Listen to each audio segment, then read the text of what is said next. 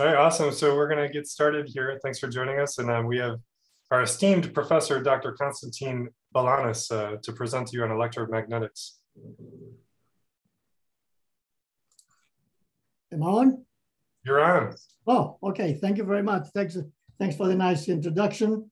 Uh, let me put this on. Hold on. Okay, let, let me go back over here. Okay. Okay, area. Uh, let me see. I don't know why this. Here we go. Now, now I can go. Let me go back from the beginning. All right, here we go. Um, electrical, computer, and energy engineering pathways, electromagnetics area.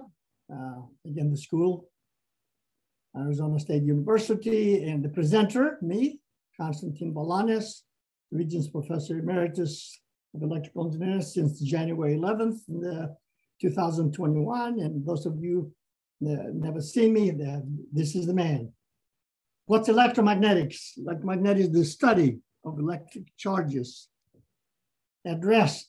We call that static fields. That's what uh, ASU is the course Triple E 241 that everybody has to take, all in electrical engineering, whether you follow the EM pathways or not, you have to take the 241. Or electric charges in motion. We call that time varying fields. You get part of that at towards the end of 241 and uh, all of, of 341. 341 is the one that those in, um, in the electromagnetic pathway uh, discipline area uh, have to take it in order to be able to take some of the uh, other courses, uh, senior electives, excuse me, graduate level and so forth. However, it's available for those that do not follow the EM pathway. So electromagnetics is described basically by a set of four Maxwell's classic Maxwell equations. We call those Maxwell's equations. They're both in integral and differential form.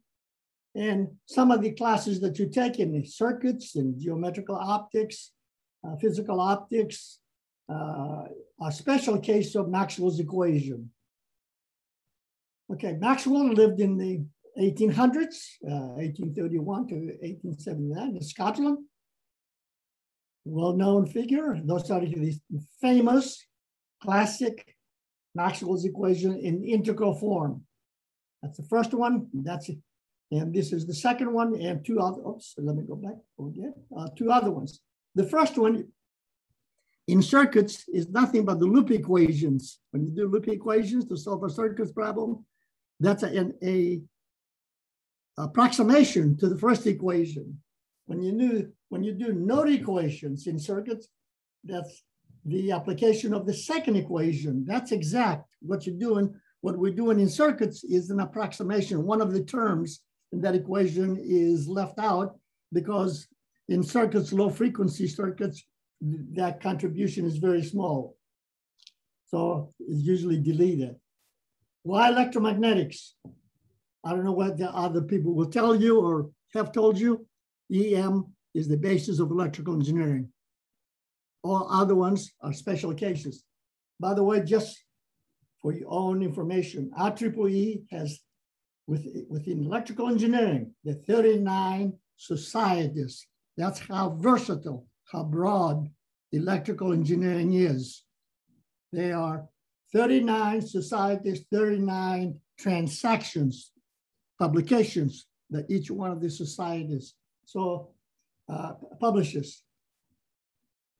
So that's how versatile, how uh, basic electrical engineering is in electromagnetics. So the fundamental, fundamental and challenging problems, wireless communication, packaging of mobile units, stealth technology, and so forth. We'll show you a uh, few applications, go through it, to solve complex problems. and practical problems using what we call full wave solutions. When you use Maxwell's equation without leaving out any terms, we call that uh, full wave solutions. And we treat the problem as a distributive, not an approximation with lumped elements like we do in circuits. So we model and simulate devices using full, that's what we call full wave solvers. We have a plethora of uh, solvers, software, commercial and personal that used in electromagnetics to model and simulate simple and complex problems. that's what I mean here, other.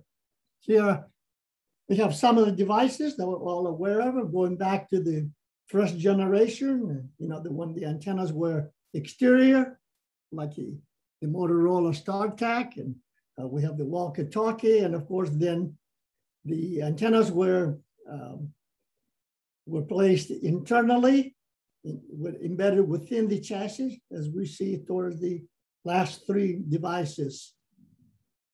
And so those are some of the devices that you can use full wave simulators based on Maxwell's equation to be able to simulate, analyze them, and be able to uh, do design problems. Here's some other ones. You can see here the stealth aircraft. We'll talk about that. Uh, so we study electromagnetics, analyze model, antennas, RF, microwave circuits, fiber optics, electronic packaging, electromagnetic interference, electromagnetic compatibility, and so forth. Plethora of applications. Now let's get to what may be of interest to all of you to be successful in the electromagnetics related courses, what you must have, what your background should be you should have a solid foundation on mathematics. So part of it's part of electrical engineering or all of electrical engineering, especially electromagnetics. It's mathematically based. You saw the equations. Those were all in integral form. We have them in differential form. Physics, we have been exposed. When you take physics, been exposed to some of the, uh, electromagnetic formulations, uh, maybe even Maxwell's equation, circuits, special cases of Maxwell's equation. So you need to have a solid foundation of those three areas. If you have a if you do that, I guarantee you, you'll be very successful in electrical engineering. Just to give you something which uh, happened to me when I was a freshman. I did not know exactly what I wanted to do. So actually, I was enrolled in mathematics.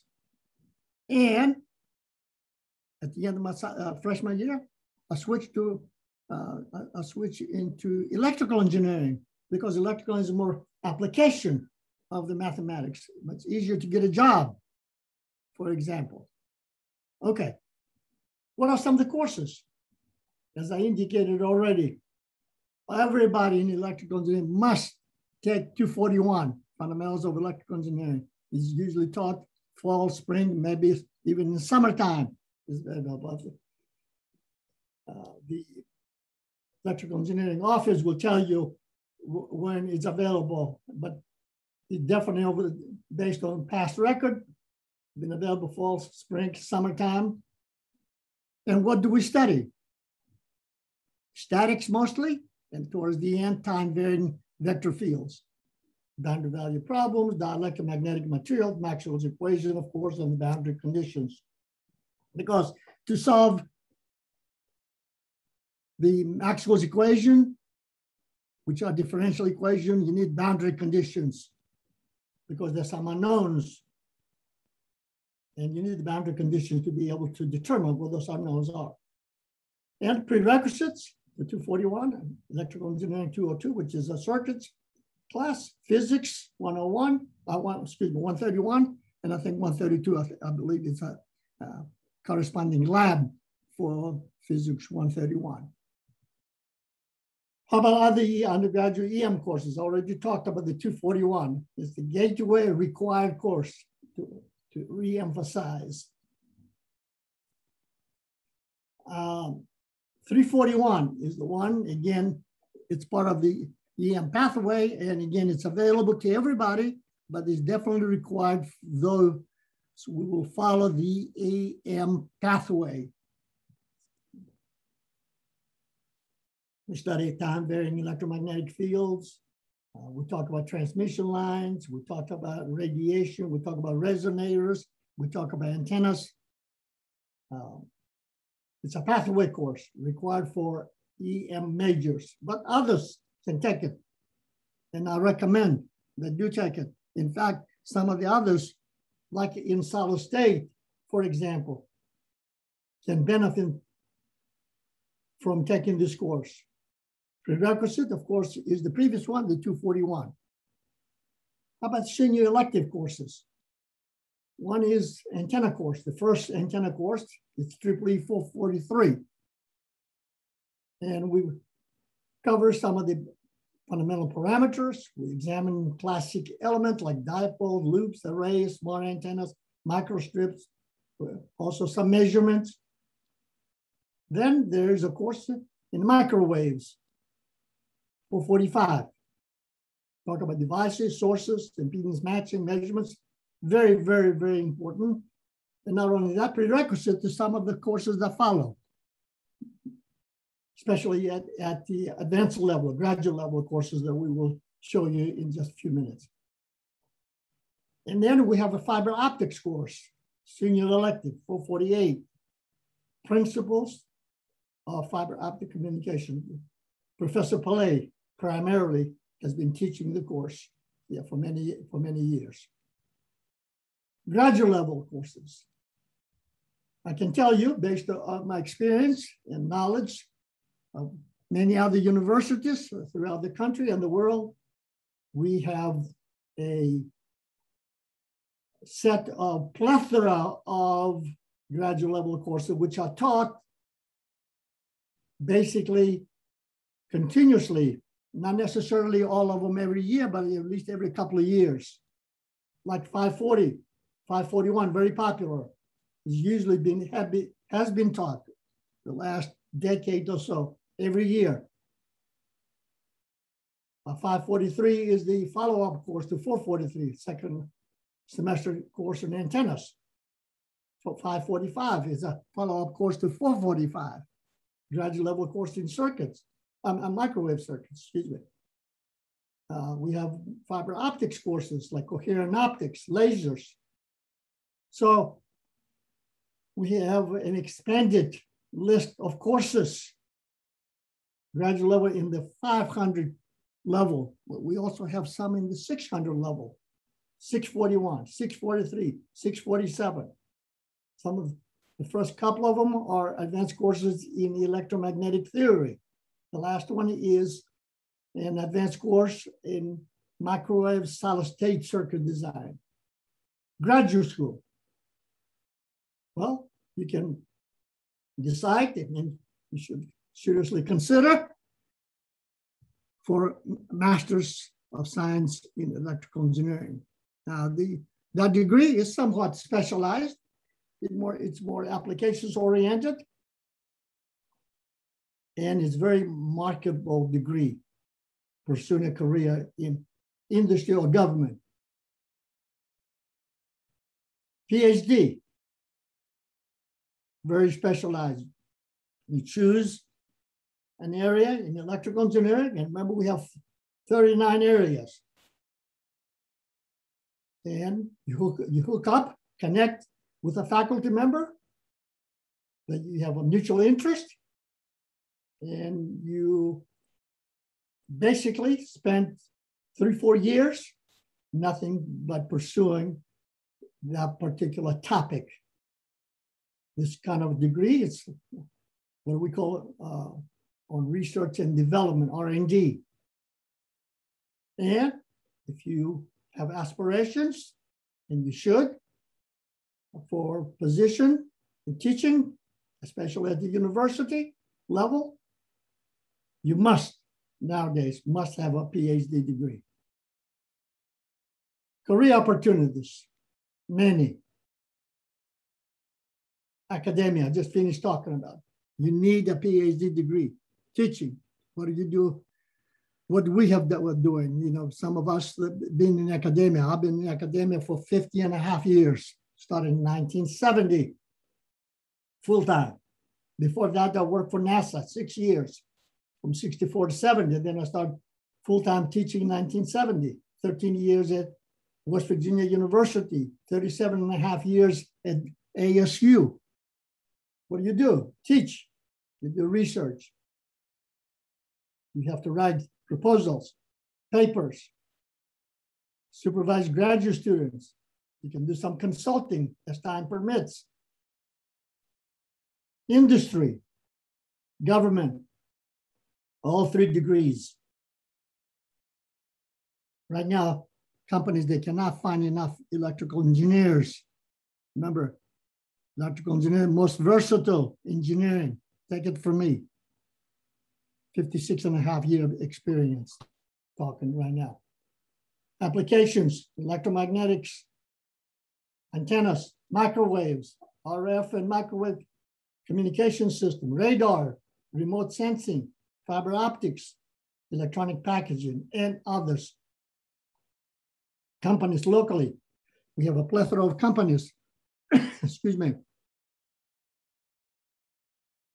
major high profile companies, Intel, Boeing. We used to have Motorola here locally.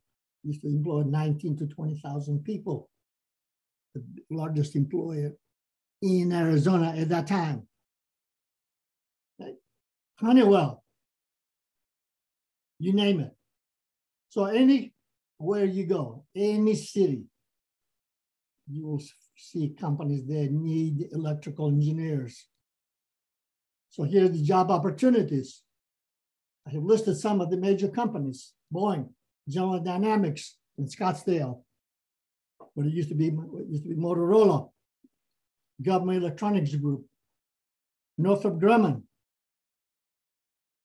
L3 Communication, Lockheed Martin. I will show you just in a few minutes. Lockheed Martin have designed some of the stealth aircraft. Motorola.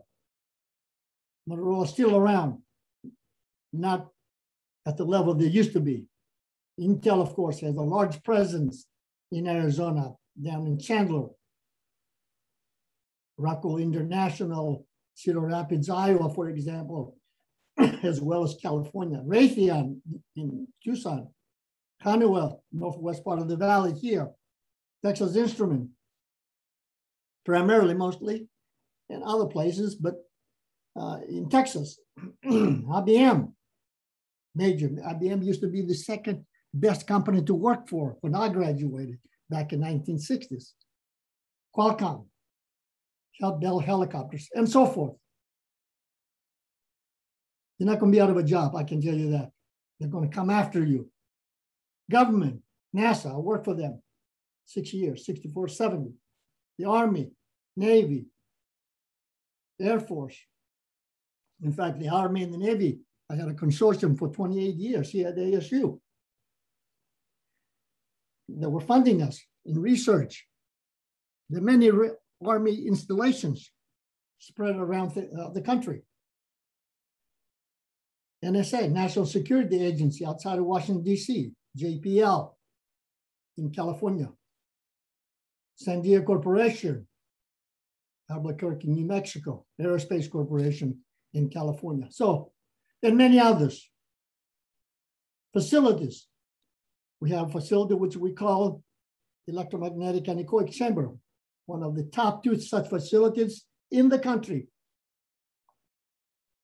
at a university setting. This goes back to the mid 1980s.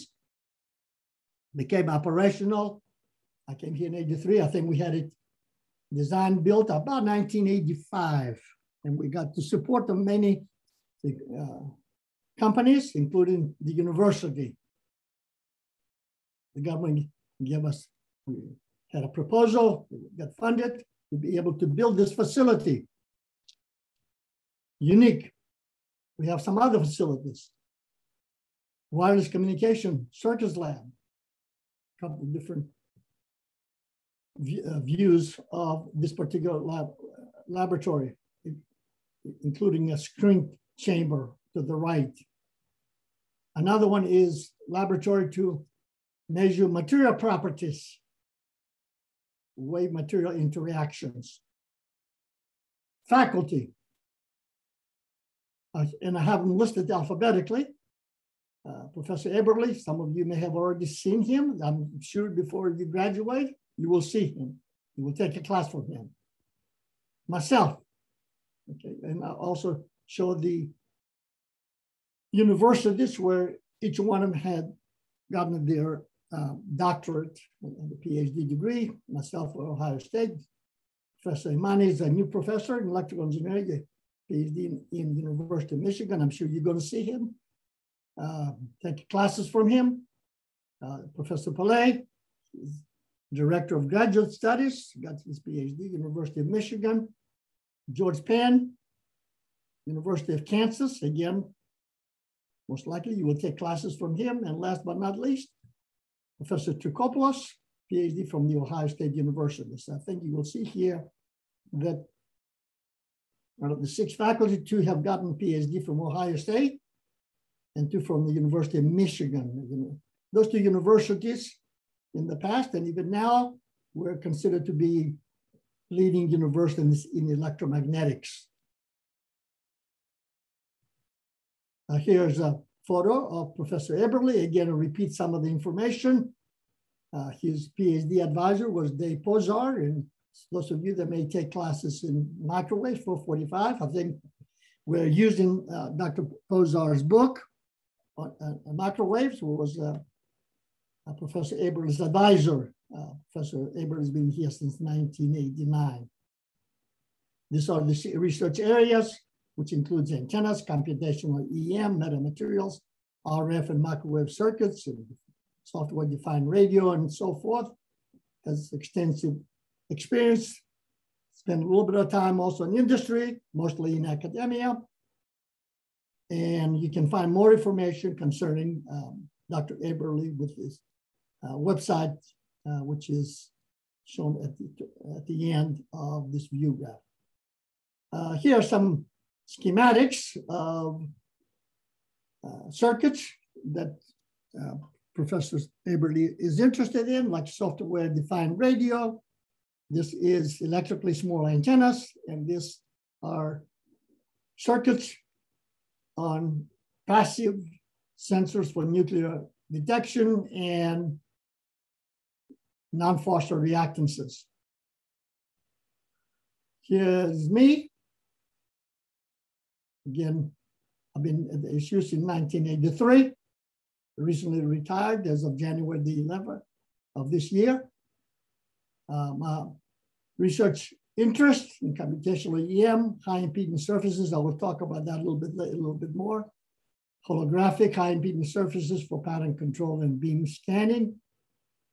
Um, already alluded to the fact that I worked for NASA, worked also um, done consulting for government industry, taught courses for government industry. Again, being in academia for 50 and a half years. More information, you can go to this uh, website of mine. Professor Imani is a new at ASU. I think this is second year, PhD in the University of Michigan. Those are his area of research electromagnetics, advanced electromagnetic circuits, antenna theory, microwave circuits, and engineering, metamaterials, some other topics that may, may not be included here. And you can get more, more information by contacting Professor Imani, Imani directly. Uh, Professor Palais probably is the most senior faculty member in electrical engineering. he was here when I first came here um, got a PhD as mentioned in uh, University of Michigan. He's director of graduate studies in electrical engineering. So if you have some interest in that, you probably have to communicate, you have to talk to him. The, primarily he's doing teaching and most of his classes are in optical communication, optical electromagnetics, like 448, uh, 546, 548, and 549. Again, if you want some description of those courses, you can go to this particular website shown at the bottom of this view graph. Professor Pan, uh, his PhD at the University of Kansas. He also has interest, obviously, in electromagnetic, computational EM, high-speed packaging, high-speed electronic packaging, magnetic resonance imaging, inverse scattering, millimeter wave and antenna systems, rough surface scattering. I think maybe that's the topic. I believe that he made, he did his PhD dissertation, I believe, at the University of Kansas. Professor Trichopoulos has been around with us in, for about four or five years. He came to us from Ohio State University. He's primarily interested in millimeter and terahertz systems, terahertz frequencies. Here are some specific topics. Um, terahertz imaging, for example, near field imaging for biometric sensing, terahertz metrology, a couple of the instruments in those particular areas, cameras for imaging purposes. He has uh, some experience with industry, but mostly in academia and some of the companies that he has been affiliated with in the past. Again, you can go to his website and find more information. I'm sure during your tenure in electrical engineering, you will have to see him, take classes from him, talk to him, maybe even work for him at the graduate level. Let me just be a little more specific now, some research projects. I'm only going to go talk about uh, those that I know mostly about. Um, in particular, RCS reduction using checkerboard high impedance surfaces. RCS stands for radar cross section. We talk about how talk about the visibility of a target to the radar. That's what the parameter that we use to identify and describe how visible this a given radar target is. We use the uh, term RCS, radar cross section, uh, and low profile antennas, low profile conformal antennas, holographic multi-layer sur surfaces. How you synthesize some of these impedance surfaces, by the way, which do not exist in nature. They have to be synthesized, they're artificial, but they have properties, very attractive characteristics. And that's why we have so much interest, not only here at ASU, throughout the country, throughout the world in particular. Conformal, conformal meaning they don't have to be on a flat surfaces, it could be curved, for example. So this synthesize artificial magnetic conductors, AMCs, high impedance surfaces, they have many names. Sometimes they usually refer to as metamaterials, meta surfaces. If you follow the literature, you will see this buzzwords, metamaterials, meta surfaces. For scattering, low profile antennas, at least in my case. So I'm gonna talk a little bit because of time limitations. I'm gonna talk about the EM scattering control.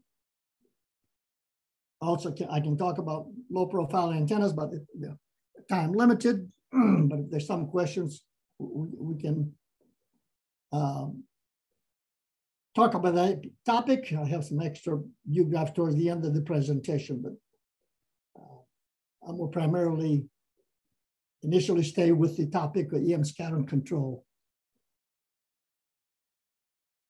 Now let's take, for example, some classic elements like a dipole, which is linear dipole, just a straight wire, a loop antenna, as I'm showing here, and a spiral. Those are the three from top to bottom. And they're mounted, then placed horizontally above what we call PEC, perfect electric conductor. That, that means metallic surfaces, metallic ground planes. These are not, these PECs, those elements, when they're mounted on such surface, PEC surfaces, are not very attractive because as we, as we change the height, especially when we make the height zero, we place it right on the surface, those elements do not radiate. And I will show you on the next view graph why not. What we want is to have the same elements, for example, but placed above what we refer to as PMC, perfect magnetic conductors. Perfect, perfect magnetic conducting surfaces or ground planes, uh, meta surfaces, whatever you want to call them. But those surfaces do not exist in, in nature. Question is, they have a very attractive characteristics. So the question is, can we synthesize such surfaces? By the way, in electromagnetics, you will see that PEC surfaces are classified as surfaces where the tangential components of the electric field vanish. Those are the boundary conditions on the surface. PMC are where the magnetic fields, tangential magnetic field vanishes on the surface. That's the classic boundary conditions which uh, identifies the surfaces or discriminates between one and the other one. Now, let me show you why. Now, if we take, for example, a vertical dipole linear element, as I'm showing here, we place it above a PEC surface. So what do we have here? We have a direct radiation from the element, and then we have reflections from the PEC surface. And to account for the reflections, we introduce an image. Again, those of you, we may already have taken 241 and maybe even 341. We talk about imaging to take into account to account for the reflections from surfaces. What happens is you can see both the actual element and the image. The image is shown, you know, dotted, for example. The contributions add. So we get efficiency. Efficiency is high, but such an element is not low profile. In other words, especially when you want to design a surface which has low visibility to the radar, or a surface which has aerodynamics uh, don't have drag, do not introduce drag, then that kind of surface, that kind of element is not, is not attractive, is not what we refer to as low profile. So we're going to eliminate that. Suppose now we take a horizontal element, we put above a PEC. To account for the reflections, the image is in the opposite direction. So the contribution from the direct element and from the image, they have construct, they, form construct, destructive interference instead of constructive like they did on the number one. So efficiency is down, but it is low profile. So that's out. So let's look at the third one. Suppose we have again a horizontal electric element like we're shown here. Now we're going to put above PMC surface, which does not exist in nature. But if we apply the boundary conditions to account for the reflections, the image is in the same direction as the actual element. So the contribution from the actual element and that from the image form a constructive interference. So efficiency is high. Because it's horizontally mounted, it's also low profile. Very attractive. However, PMCs do not exist in nature. Well, not so fast. Based on the ingenuity of engineers and scientists, physicists, electrical engineers, been able to, the last 20 some years, to be able to synthesize or to form engineering texture surfaces which have characteristics similar to those of PMC.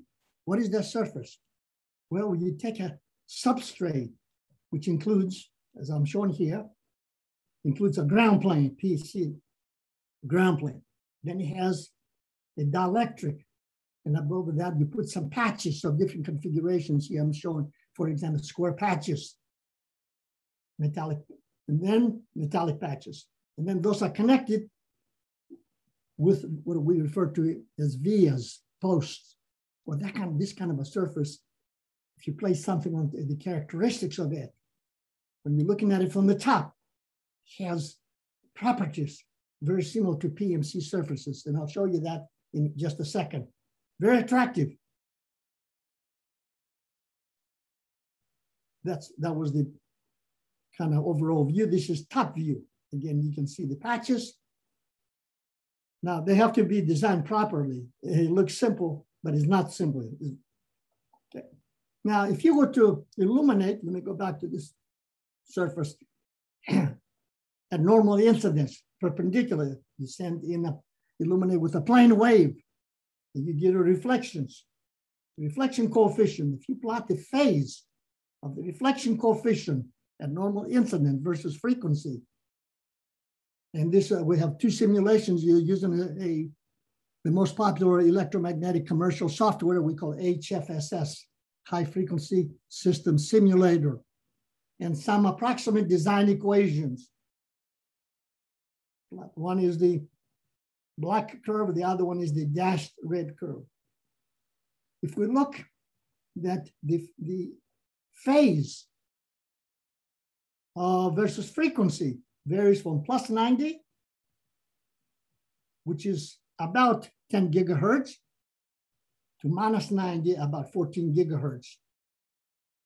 And at the center frequency, about 12 gigahertz, the phase is zero.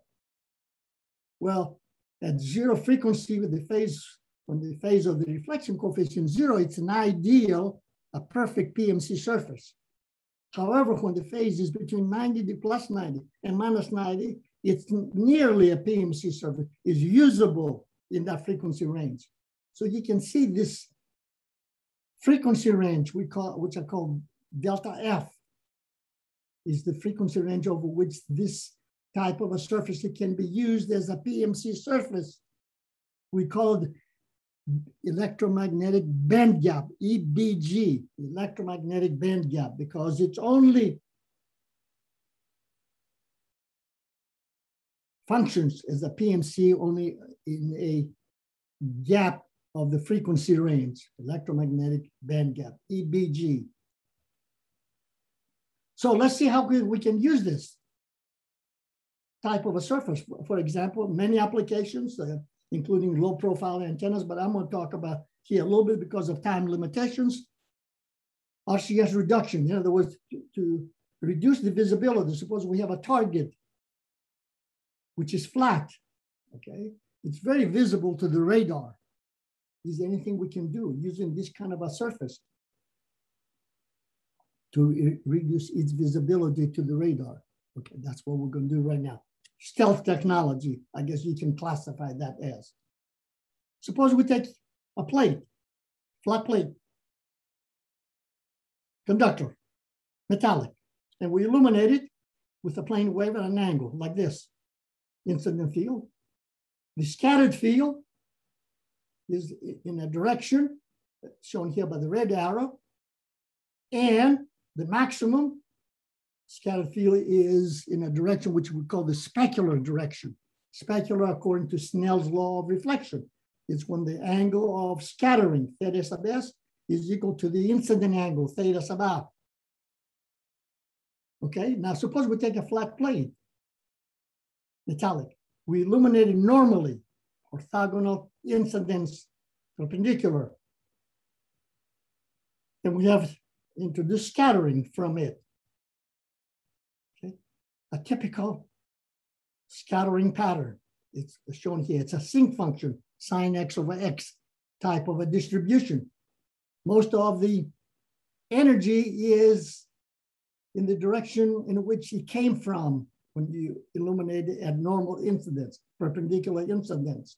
In other words, when you go back, if you illuminate it normal incidence, as shown by the blue arrow, the maximum is in the same direction, very visible. Now this is just flat metallic surface, very visible. Is anything we can do to reduce its visibility in that direction? And the answer is yes, by using this artificial synthesized surfaces that we're just talking about. Well, before I get to that, let me just talk about design of stealth type of radar targets. We saw that the flat, flat plate is very visible. Suppose we take a corner reflector, as shown here. We illuminate it again, normal incidence. What happens if you apply Snell's law of reflection, which you learn in physics, you learn in 241? What happened? The, the reflected fields are not in the same direction in, in which the incident field was. You, you direct it away from the receiver, the radar receiver. So you make it less visible as shown here. Okay, you see this scattering, reflections, away. Suppose you have a convex, by the way, they have to be convex, not concave. When we look at from the outside surface, convex. Same thing with a curved surface is shown here. Illuminated like this, what happens? The fields are not in, scattered field, not in, in the direction in which the incoming field was. So you make it less visible to the radar. All right. Well, let me just show you some actually, uh, actually radar targets was built based on those two concepts. Here is the F-117, lucky they're called Nighthawk. This was built in 1980s, early 1980s. Look what it looks like. Bunch of corners, reflectors, corner, bent plates. They call it faceted plates. Okay, that's near its tenure, as I understand. And because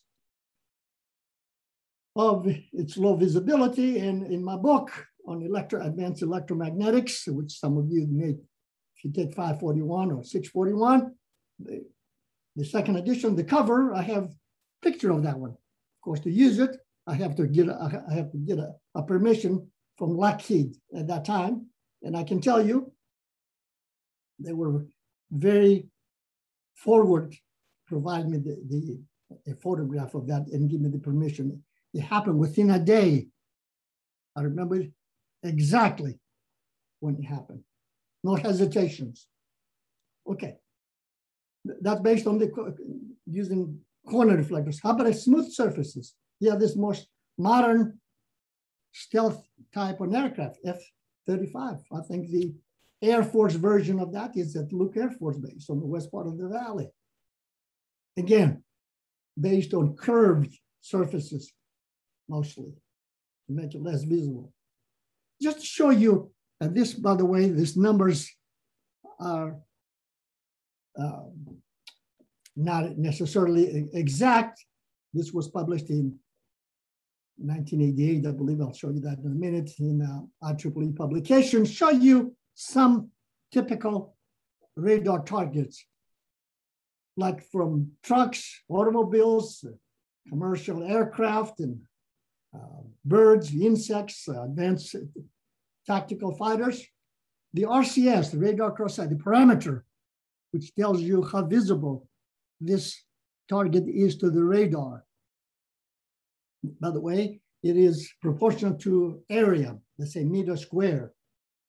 But if you compare eh, those values, okay, to one meter square, we use one meter square as the reference, then we can convert that to dB, dB per square meter, dBSM. That's what dBSM stands for. Now we're taking the 20, for example, divided by one, we make it, I'm sorry, let's take the first one, pickup truck. RCS in meter square is 200.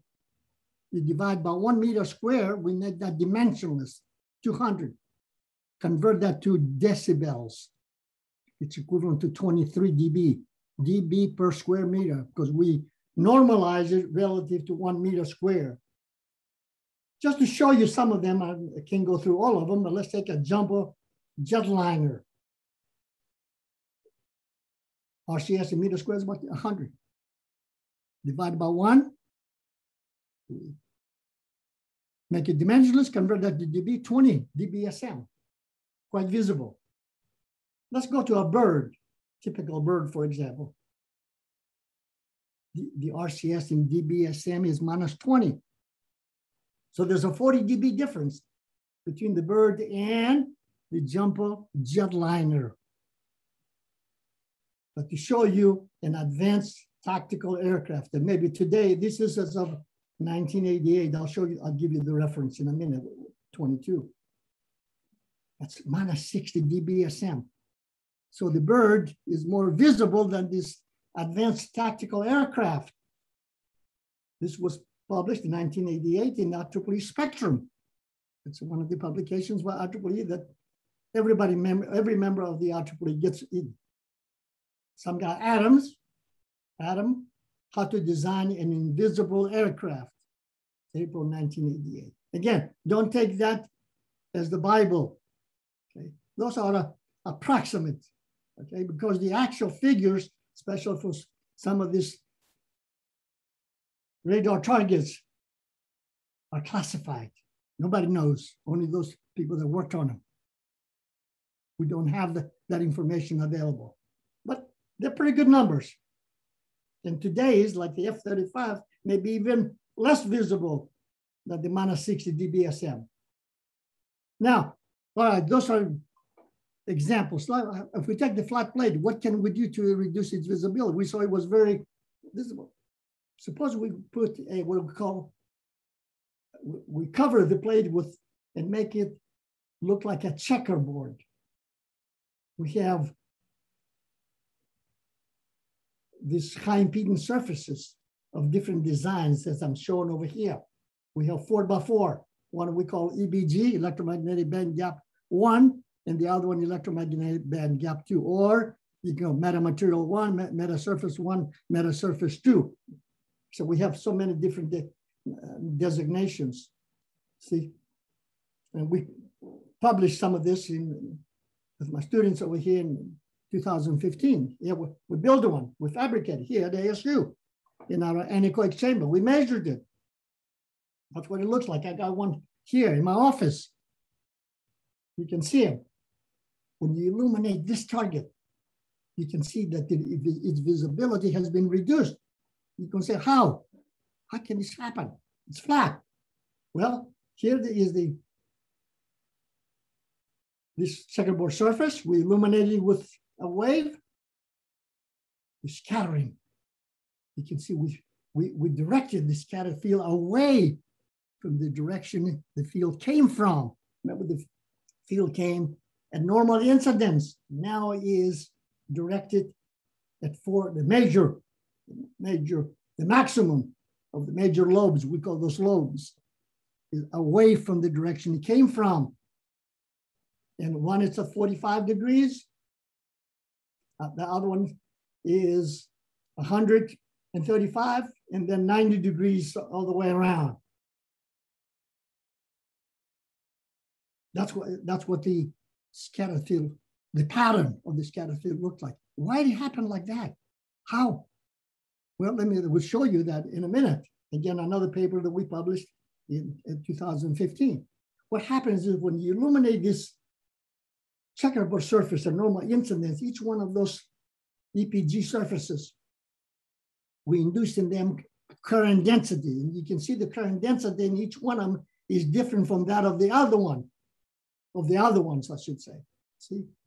So we have formed what we refer to as an array, a planar array of elements.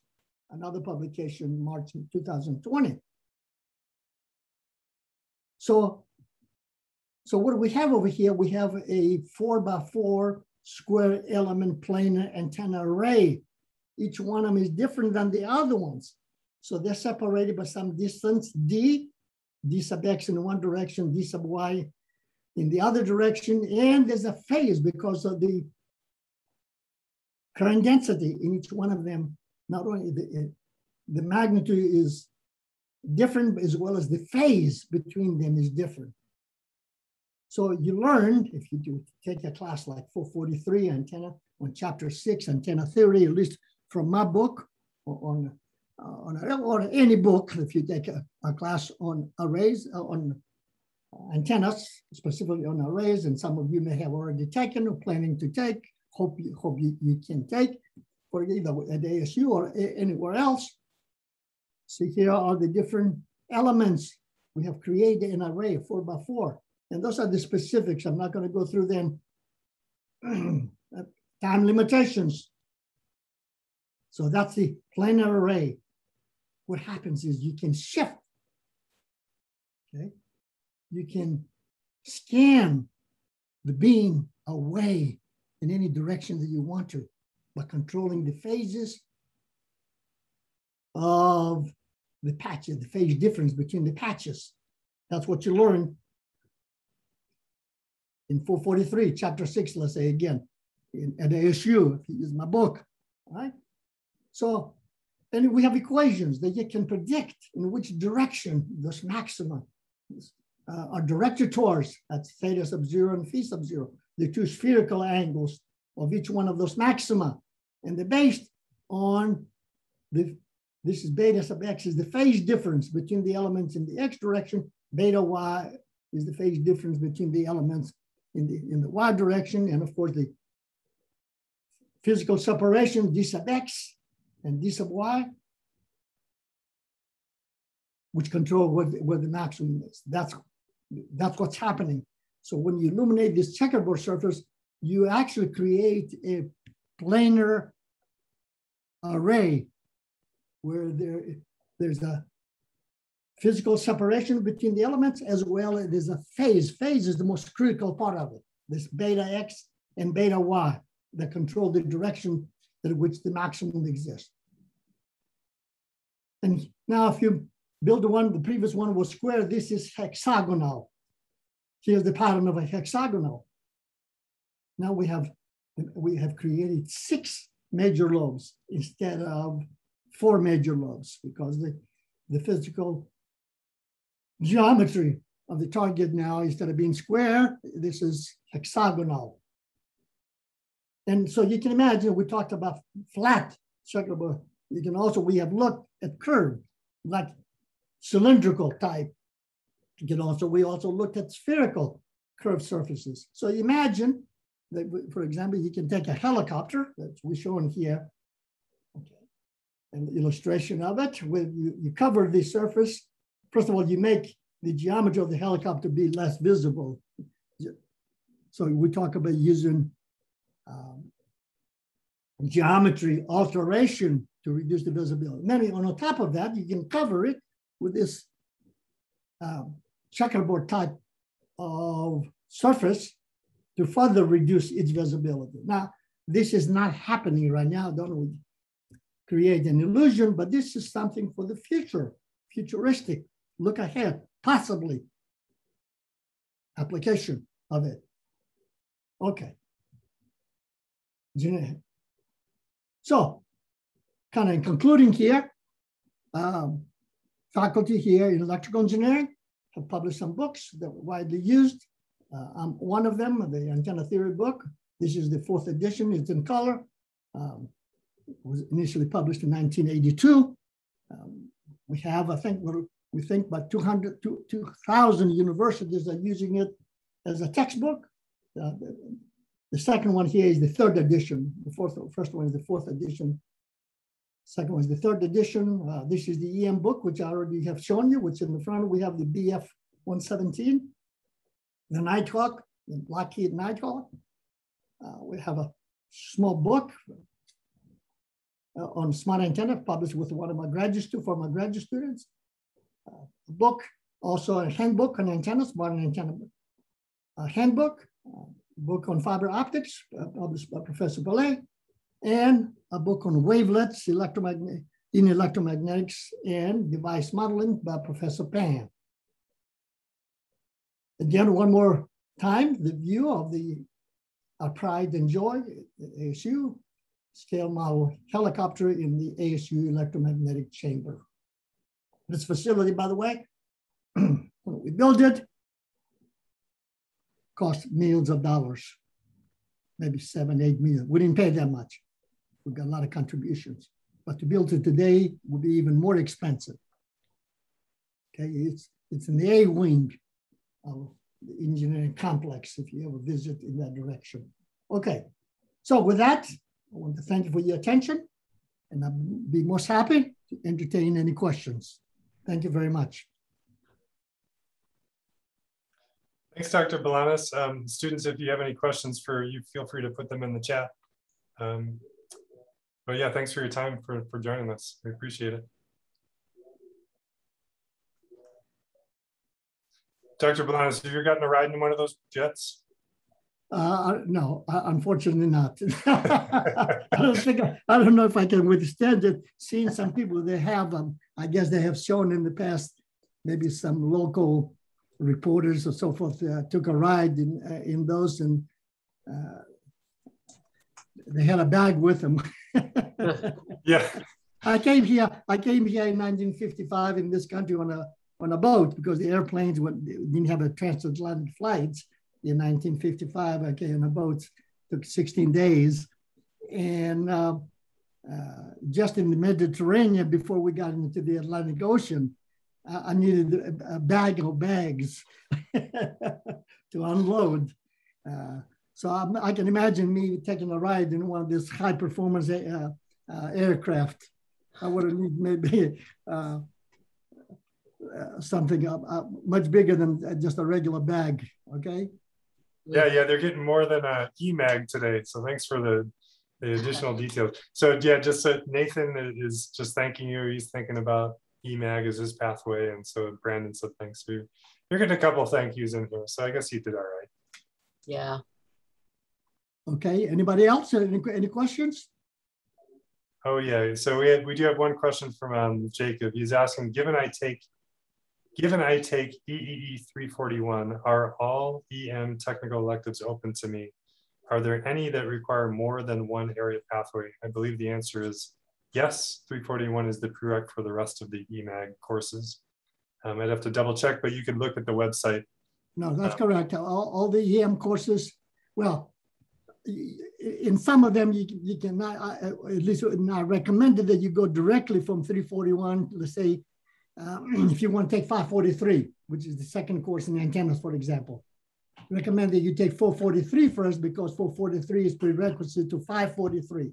Same thing if you take, for example, 341, you can take um, uh, uh, fiber optics 448. And then, you know, once you have that, you can take, let's say, 548, you the follow-up. But you definitely have to take to get started to, to anyone uh, so you have to take them in sequence if, if you wish, okay? You have to look at the prerequisites to each one of them. So uh, the 341 is prerequisite to, as a, one of my slides showed, uh, to 443, 448, 445. Once you take them, you can go now to the 500 level courses. Yeah, so just um, you can always check our website for the course syllabus. Yes, absolutely. Yes, yes. Yeah. Um, and then another student is asking your opinion on uh, would continuing on to a master's be recommended for this emphasis? Absolutely. Yeah, uh, so, so let, let me just say one thing. Let, let me just show you my experience. Now, I'm not, I haven't been in this business, you know, yesterday, 50, 50 and a half years teaching, full-time teaching, and, and six years at NASA. Even when I was at NASA, I taught maybe two or three courses for George Washington University, okay, but part-time at that time. I was full-time with NASA. Um, you know, you're going to sacrifice, when you go to graduate school, you're going to sacrifice, you're going to be on a, a low um, pay scale, if you wish, okay? For a couple of years to get a master's degree. But I can tell you, you can the loss of revenue for two years, you go more than make it in maybe the first four or five years. Uh, you get a uh, you get a job because your salary will be much higher because you have an advanced degree. Uh, if you go to a PhD, you're gonna have to sacrifice.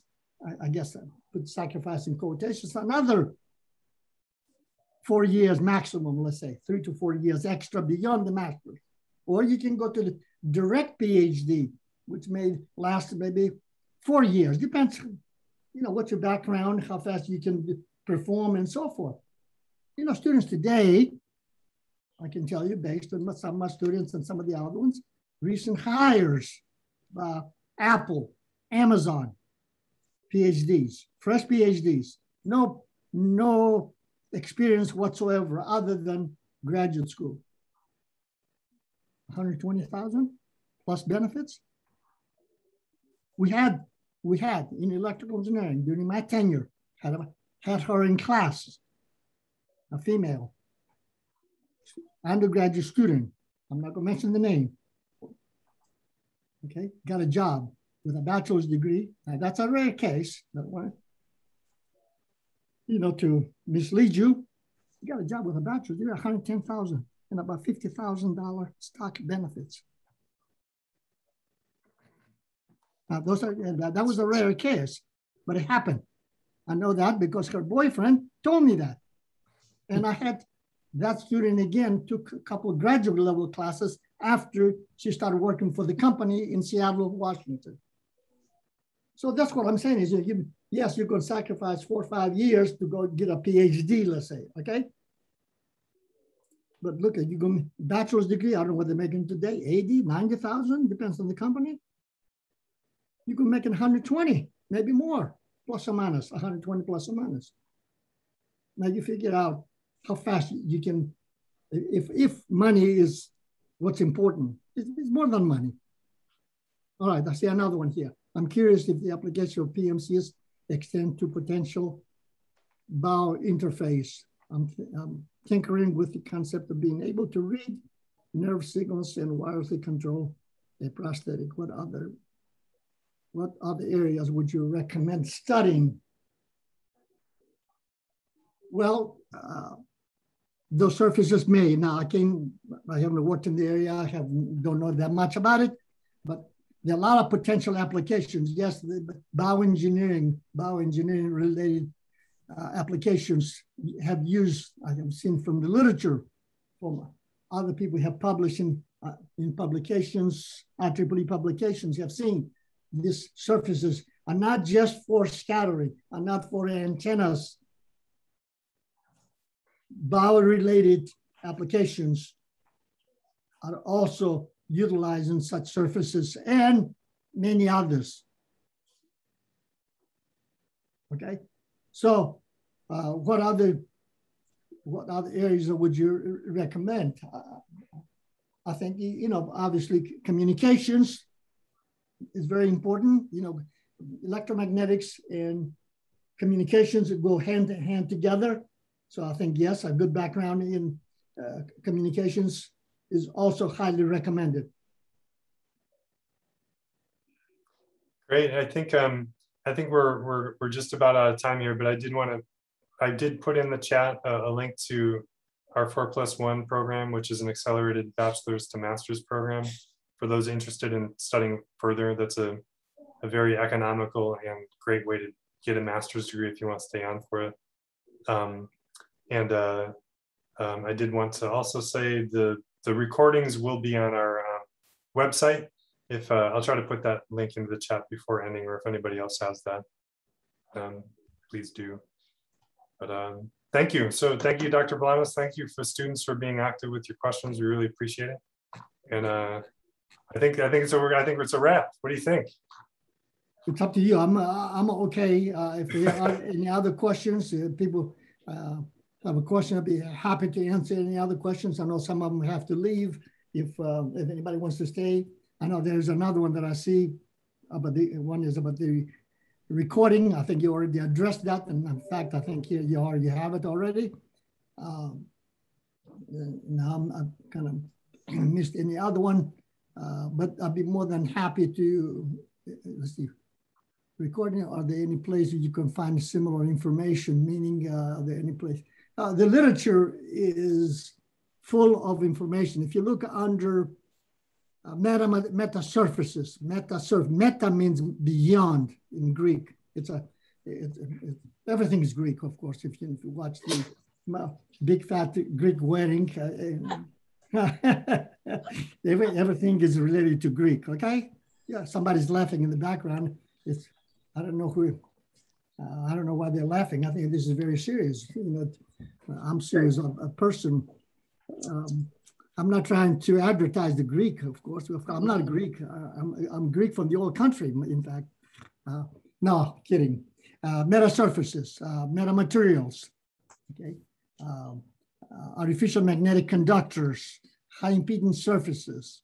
Um, what are the uh, uh, many many designations? I think um, that um, people people use uh, work in this particular area. By the way, there's also not just electrical engineering publications, physics, other areas, physics, basic uh, concepts introduced also in physics. So electrical engineering and physics go hand in hand, if, if you wish.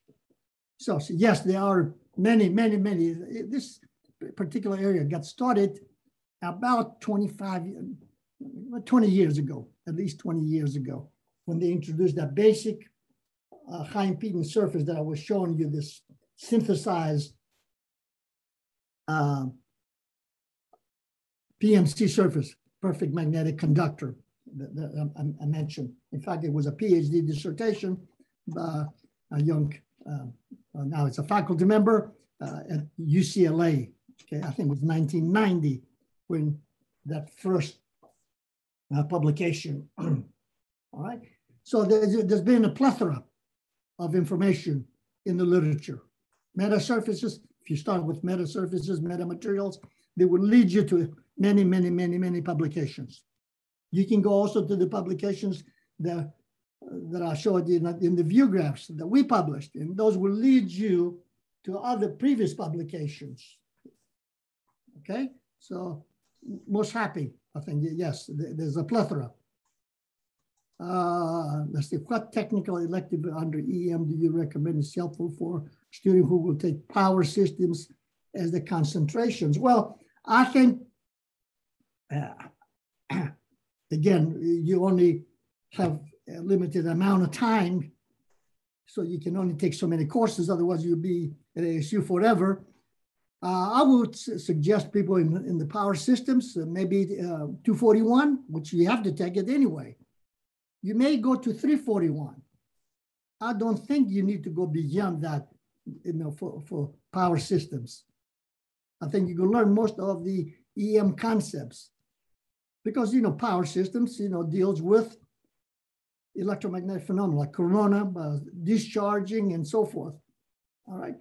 So I would say maybe taking to, um, 241, 341 should be sufficient. You can take the other ones for your own personal uh, uh, edification, but depends how much time you have. Okay. Uh, let's see here. Is there another one? Yeah, let's see here. Okay, we talked about the recording. Well, I think that we're going to wrap it up if it's okay with you, Professor. No, I'm, it's, it's not okay with me. It's okay with you, though. oh, it's it's up to you. No, I don't see too many more questions coming in, and uh, we are getting some participants that are leaving the room. Um, Sure. uh, Do you have anything else though that you'd like to add, or No, I think that, thank you for the opportunity. Thanks for the invitation to give the presentation. I enjoyed Absolutely. it. Uh, Any, any questions, you're gonna be happy to, to answer it and um, hope to see you again soon. We really Stay appreciate well. you doing this. Thank, thanks for doing this. These are these are always great. Maybe this recording is gonna be better than the last one. We'll update. yes. Okay, I like the new presentation. Thanks for making that. sure, absolutely. Just you send me the money. Thank you very much. Thanks. Okay, Bob. Okay, Cheryl.